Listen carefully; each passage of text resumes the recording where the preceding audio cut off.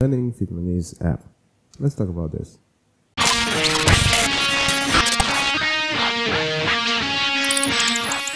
Thing is, there are a lot of apps out there that can help you learn the language, but I don't believe it's helping. It's hurting more than it's helping, especially when you're starting out. Let me give you an example. If you start out, you will start with Duolingo and you will start practicing, and they keep pushing you to use the app every day so you can keep learning but the problem is there is no learning process. You just get tested every time, every time, every time, but it's never a learning process. For example, uh, these are the words, learn them, and then you will get tested. You don't have that there, and that's a shame. And uh, the thing is, when I start using it, it was fun, it, basic, but after that it will get difficult. But it's getting irritating, so it's not fun to learn. And there's another app. It's called um, Nemo Vietnamese, and that one is all fun to learn. But the thing is, keeping up doing it every day that's difficult. And um, the thing is, some things you have to buy an app. The other part of the Duolingo is for free. So um, yeah, thing is, let's look at the app so you can see what I'm talking about. So if you look at um, Duolingo, you need to look at the um, go on my phone. So I'm going to show you what it is on Duolingo. So um, this is Duolingo. You open it and you just, as you can see eh, I did some of them. It's fun but uh, after a while it will get difficult and sometimes you don't have a process where you can learn. That's a bit shit. They assume you know everything and it's just about the practicing every day. I think they are using this so you can start using the app every day. So yeah you're using it so they can show oh people are using it but it's not helping you with learning. So that's that I found bad about um, Duolingo.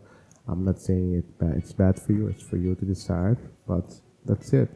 So this is Duolingo, and as as you can see, I find it difficult to use it to learn it. And I think most people find it also difficult because they are missing something where they can practice. And that's what you have here. You start with basic alphabet processing it's all fun, but after a while it's getting irritating because Duolingo will be like, hey, you have to practice today, hey, you have to practice today, hey, you have to practice today. It's not fun. So I don't think this is a good way to start. Uh, don't get me wrong, it's a good app to help you practice if you know a lot, but as a beginner, for me, it's not working. So that's about Duolingo. And the thing is, there's also another one, Nemo uh, Vietnamese.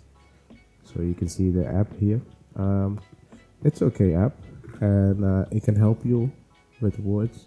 Thing is, it doesn't have um, you don't have an image what it is, and that's the advantage of Duolingo. There you have an image what it is and that you can use. As you can see, this is the app. I really like this one because they help you with the basic conversation, and uh, you can plan everything in. So how many words you can practice today, or uh, how, how many words you want to learn, and how to pronounce it, and what it is. So keep repeating. I think this way of learning is much better than Duolingo. Duolingo sounds fun, but it isn't. It's keep pressing and it's not fun to learn. So that's uh, about the Vietnamese app. There are a lot of out there.